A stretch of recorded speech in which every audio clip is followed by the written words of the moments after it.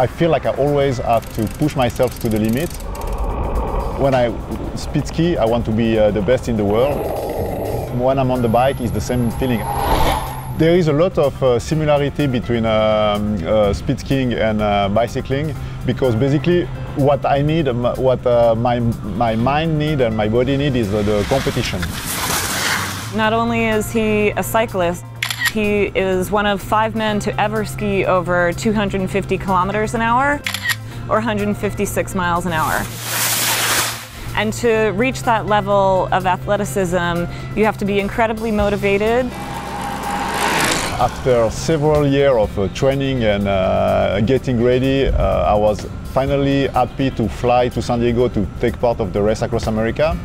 And when I landed in, uh, when I landed in uh, San Diego, I wasn't feeling very good. He was all sweaty and feeling hot and dizzy, and so I took him to the closest urgent care, with, which thankfully was uh, Scripps Urgent Care. They discovered that Philippe had ARVD, or arrhythmogenic right ventricular dysplasia. When I was feeling in top of my form, I was ready to race the longest race in the world, and then suddenly they told me, no, your heart is sick. And it, it was like probably the biggest shock, shock in my life. This tells us if you've had any ventricular tachycardia.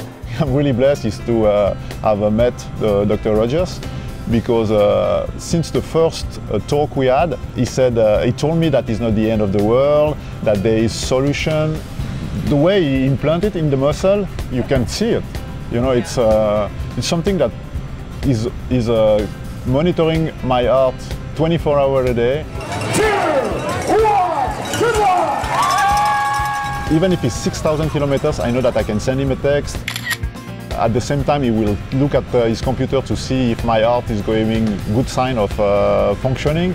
Philippe May, Race Across America, 2015. He has this security that his heart is not going to go wacky, and if it does, if he has some kind of arrhythmia or, or tachycardia, the defibrillator is there to pace him out of it, and it's a security that he's not going to shockingly die of sudden cardiac arrest. We're on East Coast time now.